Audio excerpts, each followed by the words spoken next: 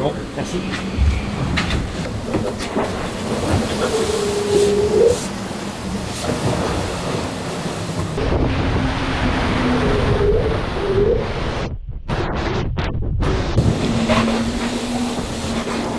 Tu m'entends Oui.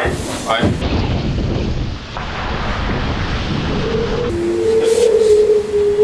Oh, qui se... qui se... Attends. Ouais.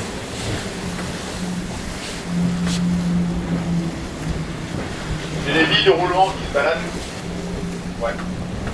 Des grosses billes de roulement, donc euh, ça veut dire que euh, c'est en dessous, c'est plus.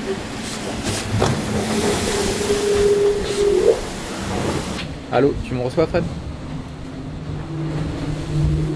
Ouais, c'est Thomas Rouxel. Euh, on a un problème avec le safran de flotteur. Il monte et il descend. euh, et, euh, et on a retrouvé des roulements dans le coque et un peu de carbone aussi. Euh, du coup, euh, on va t'envoyer, euh, bah, on va envoyer sur le serveur des photos. Est-ce que tu pourrais les regarder et confirmer un diagnostic avec François Duguet dès que, tu les as? On n'a pas avancé beaucoup dans les bah nous, on aussi. perceuse visseuse Makita, boîte de forêt et, la petite boîte verte avec toute la visserie. Et euh, il faudrait pouvoir. euh, en fait, il faudrait pouvoir maintenant, il faudrait pouvoir fixer le, les filets. Pour, euh, parce que là, j'ai engagé les filets.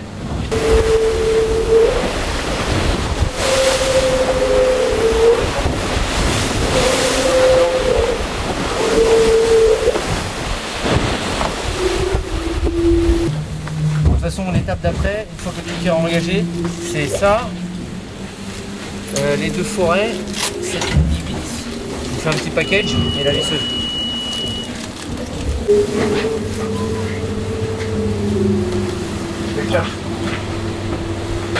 Donc à un moment, on sent que le bateau est de, de plus en plus dur à barrer.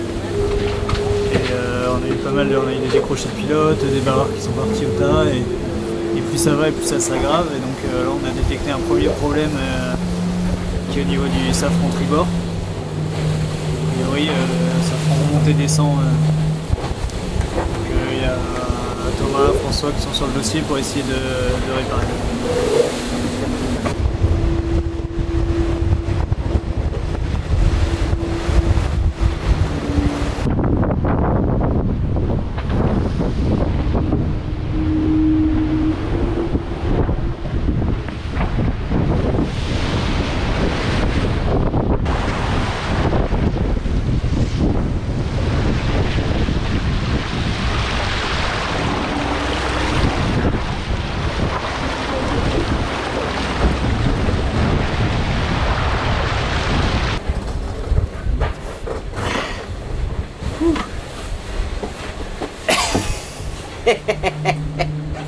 Elle a fait des conneries. hein.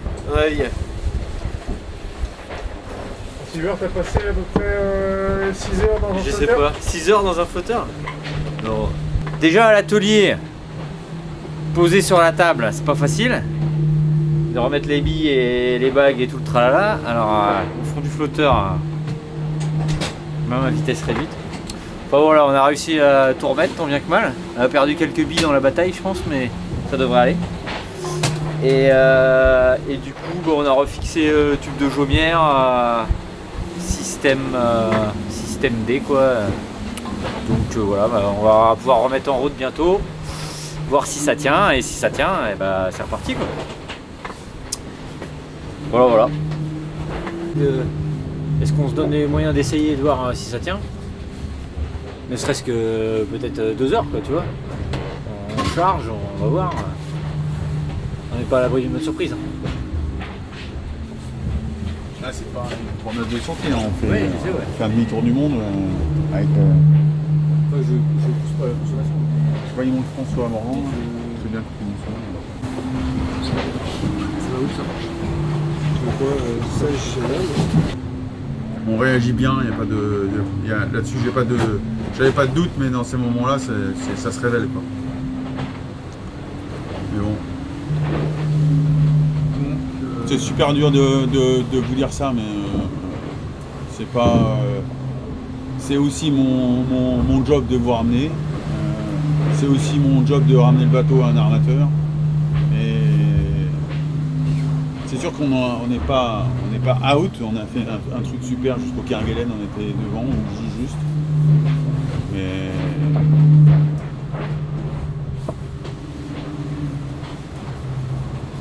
si on se laisse pas juste embarquer par le fait de vouloir euh, à tout prix euh, par euh, ego, fierté ou euh, envie ou je sais pas comment il faut appeler ça, faire la boucle pour faire la boucle. J'aurais envie de vous donner rendez-vous quoi, mais je sais pas si vous déciderez pour en faire un, mais, je, je pense pas qu'il fallait qu'on on tente le diable avec un truc. euh, qui est pas à 100% quoi. C'est pas des bateaux qui, qui, qui, peuvent, même il n'y a pas de bateaux qui peuvent. euh, Ouais ouais. Après c'est sûr. De toute façon, euh, si on rentre avec ce safran là comme ça, euh, on pourra pas être à 100% ou à tirer dessus ou à, ou à continuer à travailler euh. Je sais pas si. François, t'es parti